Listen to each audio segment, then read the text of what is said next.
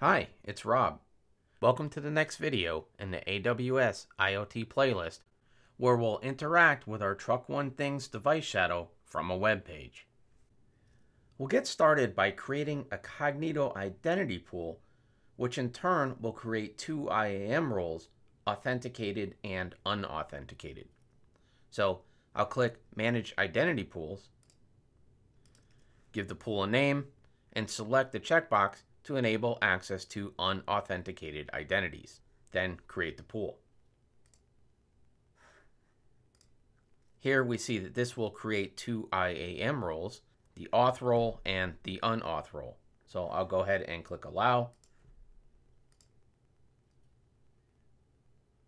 And then jump over to IAM, go into roles, and search for the unauth role. I'll select it click Add Permissions, attach policies, search for the AWS IoT Data Access Policy, select it, and attach. Now let's jump over to S3 and create a bucket to host the website. I'll start out by clicking Block Public Access Settings for this account and ensure that Block All Public Access is off. Then I'll go into Buckets and create a new bucket, give it a name, enable ACLs, disable block all public access, and acknowledge, and create the bucket.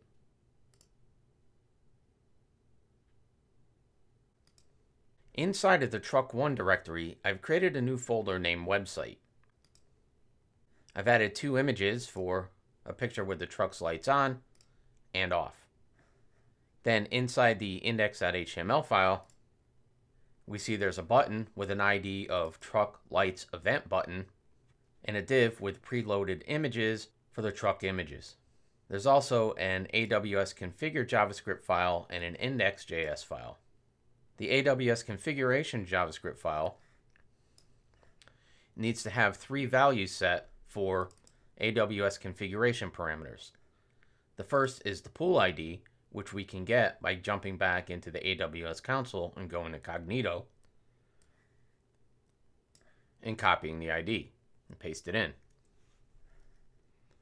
The endpoint we could get from the endpoint JSON file, copy it, paste, and for the region, I'm using US East 1. I'll save that file and look at the index JavaScript file. Of course, we're requiring the AWS SDK and the AWS IoT Device SDK.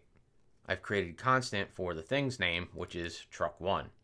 Here we're setting AWS configs region to the configuration region, and then the config credentials by instantiating a new instance of AWS Cognito identity credentials, passing it the identity pool ID.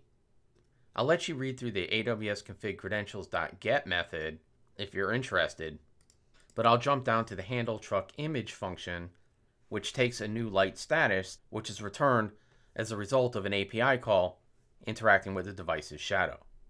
Here, if the current light status is equal to the new light status, we'll just return. But if the new light status is true, then we'll display the image of the truck with its lights on. Else, we'll display the image of the truck with its lights off. So with this in place, let's jump over to the terminal and push this code up to S3. So I'll start by changing directory into the website folder inside of truck1's folder. And then issue an AWS S3 copy recursively, setting the ACL to public read for all files in the current directory into our S3 bucket. Now if we jump over to S3, go into our bucket, we see our objects. Now I'll jump back into the terminal, back up one directory,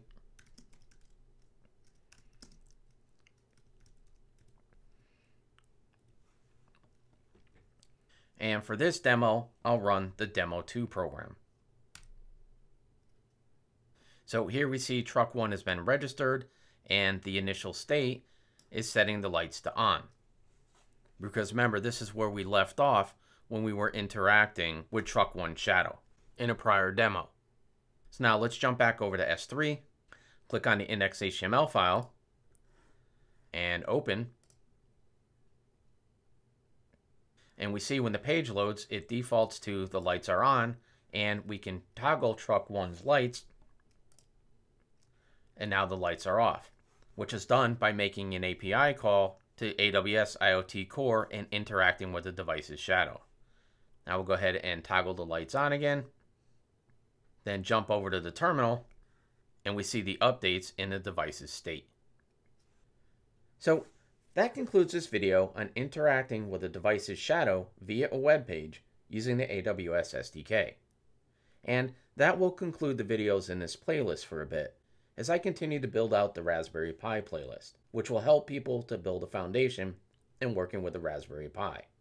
Then I'll turn my attention back to this playlist and show you how to connect a Raspberry Pi to AWS IoT. I hope you've enjoyed the videos in this series thus far, and I hope to see you back here soon. And, as always, if you found this video informative, go ahead and give it a like. And if you'd like to be notified when I add more videos to the playlist for connecting a Pi to AWS IoT, please consider subscribing to the channel. Thanks for watching.